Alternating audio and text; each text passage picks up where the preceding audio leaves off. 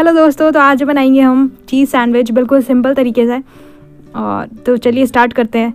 तो दो स्लाइसेस ले ली हमने ब्रेड की, और दोनों साइड हमने इसको काट लेना है मतलब इसका साइड निकाल लेना है। अगर आप चाहें निकालना तो निकाल सकते हैं, नहीं चाहें तो आप वैसे भी यूज़ कर सकते हैं, कोई प्रॉब्लम नहीं है। तो ऐसे ही हमने दोनों दोनों स्लाइसेस को किनारे किनारे इसकी साइड निकाल लेनी है।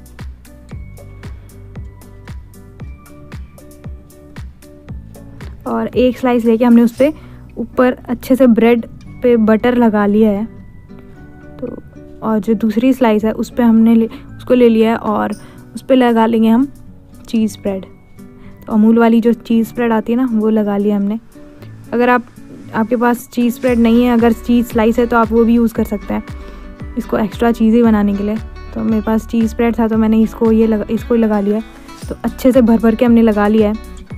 और अब डाल लेंगे इस पर वेजीज़ तो हमने अनियन काट लिए थे ऐसे, थोड़े बड़े बड़े इसके टुकड़े काट लिए थे। अब इसको अच्छे से ब्रेड पे डाल लेंगे और और डाल लेंगे हमने शिमला मिर्च। तो इसके भी हमने ऐसे टुकड़े काट लिए थे और इस पर ब्रेड पे डाल लेंगे। फिर डाल लेना है हमने इस पर रेड चिली पाउडर इस पर स्प्रिंकल कर लिया हमने। बिल्कुल हल्का सा और डाल लेंगे हम ब्लैक पेपर पाउडर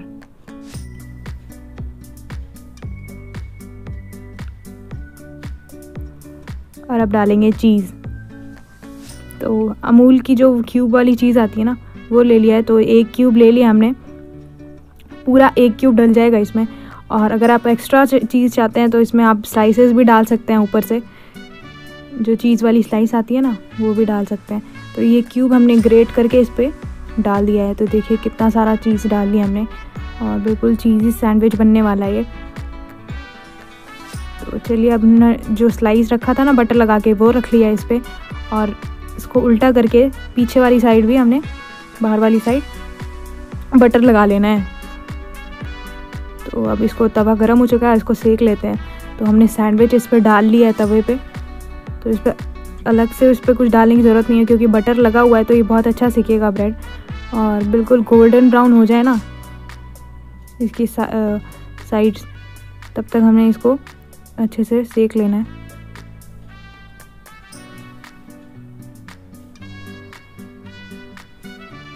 तो देखिए कितना अच्छा कलर आया है.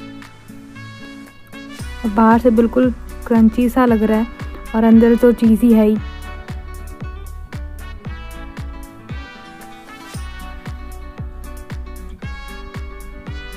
तो दोनों साइड हमने अच्छे से सेक लेना है।